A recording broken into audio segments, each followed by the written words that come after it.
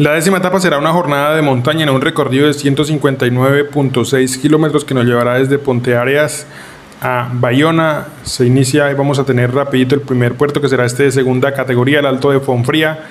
Son 15.3 kilómetros a una pendiente media del 4.3 y que se corona a una altitud de 790 metros. Se desciende, es un largo terreno de tránsito hasta llegar a este encadenado de tres puertos. El primero de ellos, este de tercera categoría, Alto de Vilachán. Son 6.3 kilómetros a una pendiente media del 5.5 se desciende, se encadena con el Alto de Mavía de segunda categoría. Son 6 kilómetros a una pendiente media del 5.7. Este puerto se corona a una altitud de 436 metros. Se desciende, es un pequeño terreno de tránsito que incluye este sprint intermedio ubicado en el kilómetro 128.5 y subimos lo que será ese puerto de primera categoría. Son 9.9 eh, kilómetros a una pendiente media del 6.1. Este puerto entregará además bonificación en segundos, se corona una altitud de 625 metros y a falta de 20 kilómetros con 300 metros para la meta que serán en un descenso.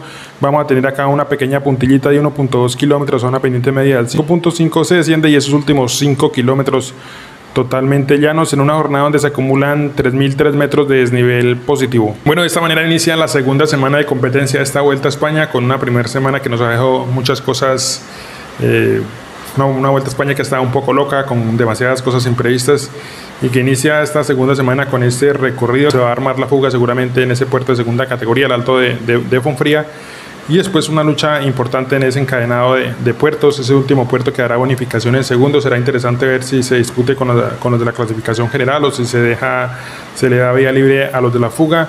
Una segunda semana que inicia ya un poco más abierta con un Ben O'Connor que se logró sostener ahí y que va a ser difícil sacarlo si no tiene un mal día porque es un gran escalador ya se acabaron un poco esas etapas explosivas que le favorecían a, Primo Roglic, que nos deja un poco la duda de su superioridad, con un Carapaz que sube 15 posiciones y se pone ahí eh, por el momento en el podio, un Enric Mas que está ahí en la cuarta posición, que no supo aprovechar eh, su movimiento en la etapa anterior debido a, su deficiente forma y técnica en el descenso, un corredor muy inseguro que aunque ha trabajado la parte psicológica y demás, pues no se le ve mayor mejoría en la en ese, en ese atributo en cuanto a, la forma de, descender.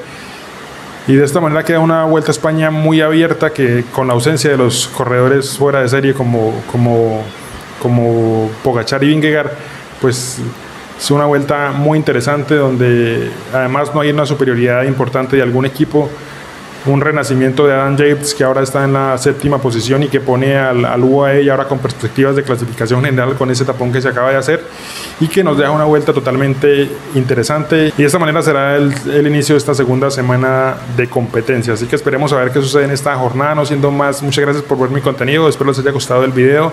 No olviden dejar su like suscribirse al canal y activar la campanita. Nos vemos en el video de la etapa número 11 gracias y chao